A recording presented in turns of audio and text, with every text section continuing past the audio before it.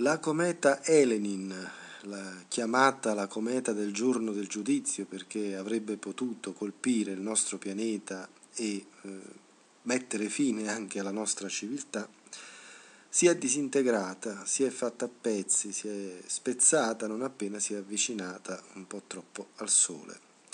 È sopravvissuta solo la sua coda luminosa, fotografata da un gruppo di astrofili italiani ad avvistare i resti, una sorta di mm, nube brillante di polvere e ghiaccio, è stato l'astrofilo Rolando Ligustri.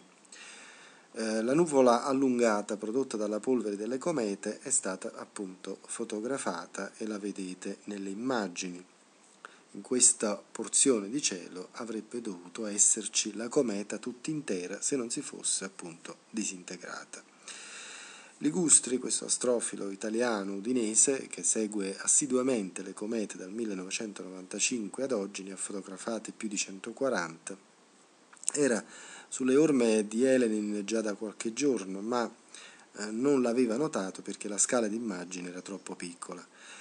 Le foto che vedete sono state scattate tra il 22 e il 23 ottobre e si nota come da un giorno all'altro una normale diminuzione di segnale ed entrambe sono state fatte utilizzando un sistema di telescopi robotizzati situati nel New Mexico.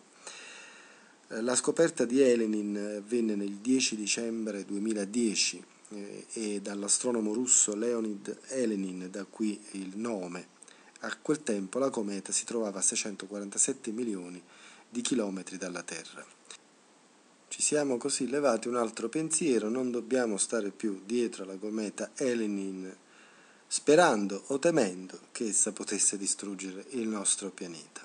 Altre minacce ci attendono, ma giusto per sottolineare una cosa vorrei dire a tutti gli amici che seguono questi video con interesse perché si parla di catastrofi che non c'è bisogno che la catastrofe venga annunciata con tanto tempo, ma può avvenire anche adesso, può avvenire fra un'ora, fra due ore, può succedere una qualsiasi cosa nel nostro sistema solare per cui il pianeta Terra potrebbe essere facilmente distrutto in pochissimo tempo. O tutt'al più ci resta da aspettare 5 miliardi di anni per la sua naturale fine. Magari sarà oggetto di un prossimo video. Grazie, alla prossima.